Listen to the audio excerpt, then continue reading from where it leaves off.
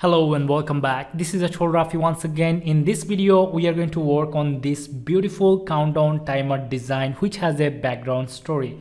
So a few hours back, I uploaded a video on YouTube where I applied on an Upwork job where client has a specific issue with his countdown design page and he hired someone on Upwork to solve this problem but the developer was failed and if I just show you the design which is this one so what I thought why shouldn't I make a similar page design just like this one? And let uh, let me just show you how you can design these types of countdown timer page. So if you ever face or find any similar job post you can take advantage of. So without further ado let me just show you how you can create these types of beautiful countdown timer with free plugins on WordPress. So let me just take you to my WordPress backend from here and I'm going to take you to my plugins page to show you what are the plugins I have got so far. As you can see Elementor free version and then essential add-ons for Elementor. This one is also free. Now I need one more plugin and let me show you which one. So let me click on add new and after that I'm going to type out magical add-ons and it should be appeared here. As you can see magical add-ons for elementor. Let's click on install now so that it will be installed and we are going to activate this one to start creating this beautiful countdown timer page for um, our our our use. Okay so let me just click on activate.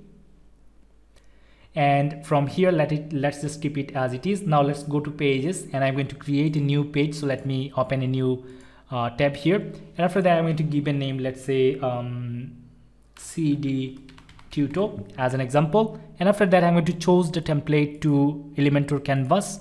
Let's click on publish publish. And I'm going to click on edit with Elementor from here so that we'll have the editing panel of Elementor.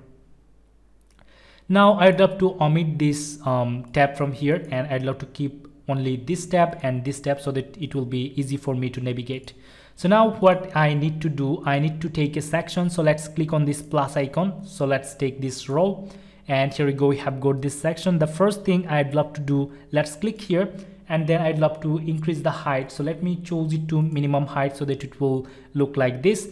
And now we, I'd love to take the color code from here. So let's keep the color. I actually click here on this icon. Let's go to style and from here let's go to classic. Now, now let's select the color from here. And I'd love to click here. And let's select this color as an example right?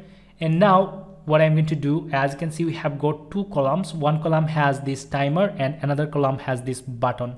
So let me just click here.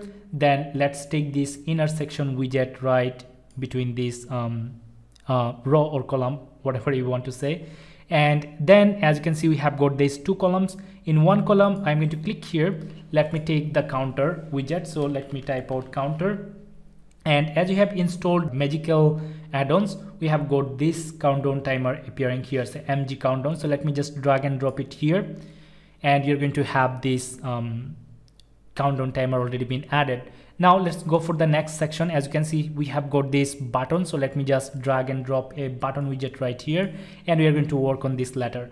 So first of all let's just start working on this widget. So first thing we have to do let's click here so that we'll have this edit mg countdown panel and then we'll be able to display type. As you can see you can select time countdown. You can select number countdown if you want. You can select clock time countdown if you want.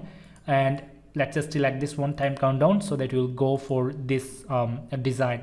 So let's go back here and after that let's set the time. So I'd love to set the time to let's say today is okay it's 2020 November so I'd love to take it to 2020 and from here I'd love to give uh, take you to January 2021 January 16 and then let's say I'd love to give it to AM here right? So here we go 15 14 5 so we have got these um, 14 hours minutes and then these seconds but we are not seeing this um, label text so don't worry we're going to work on this soon. So now let's go back here.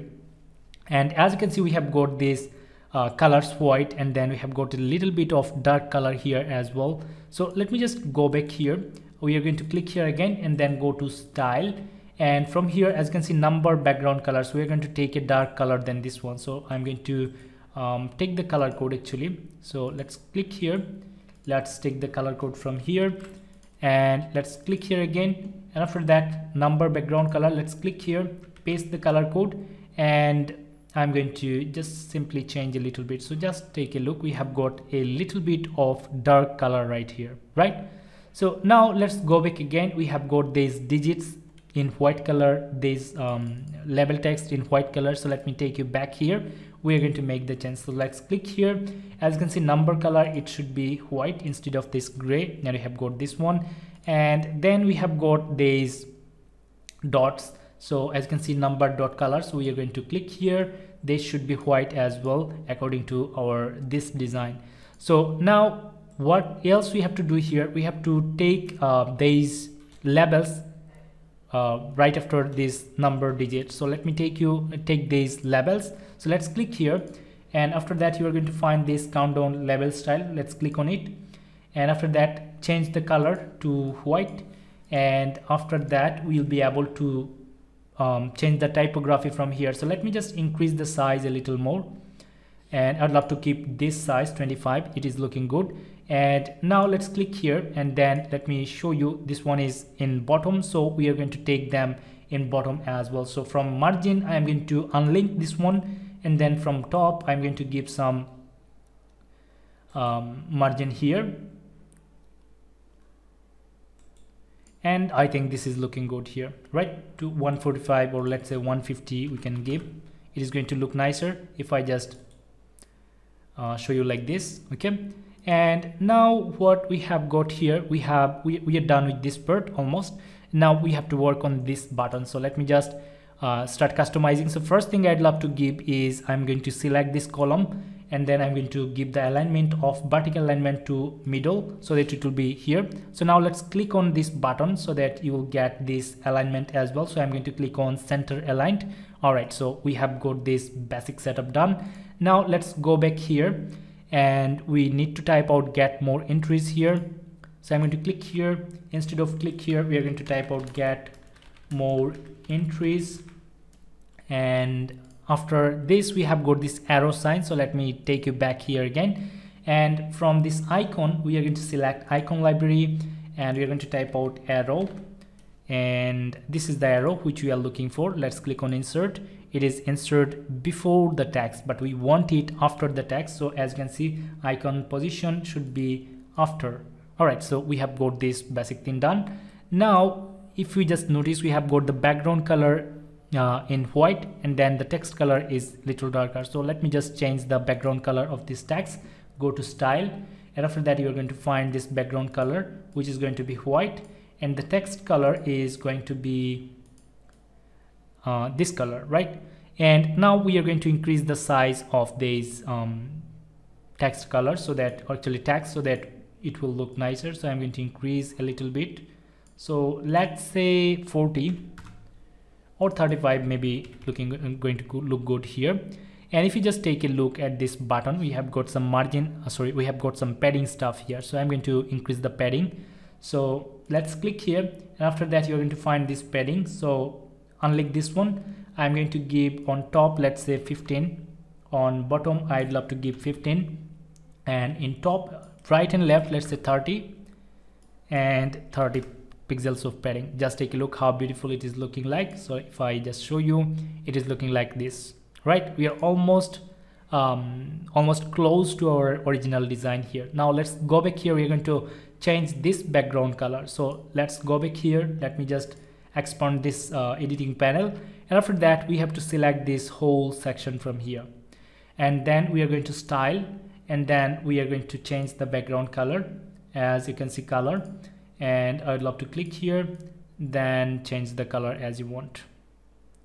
All right so whatever it is looking best just change or you can simply follow the client's um, requirement. All right so I'd love to keep this as of now like this. Um, okay so I think if I if I just spend a few more minutes I'll be able to make it exactly as it is looking like this. But let me just keep this uh, for because I don't want to uh, make this video much longer. All right. So this was it guys. I believe I was able to show you the process how you can create beautiful beautiful countdown um, countdown timer design page for yourself or for your client. So i believe you have found this video helpful. If you did please give this video a like. Share this video to help your friends and let me know your opinions by commenting below and subscribe to my channel if you're interested to learn more about Elementor, how to work as a freelancer by providing Elementor based services because I upload these types of videos. Thank you so much for watching this long and I have to see you in the next video. All the very best. Bye bye.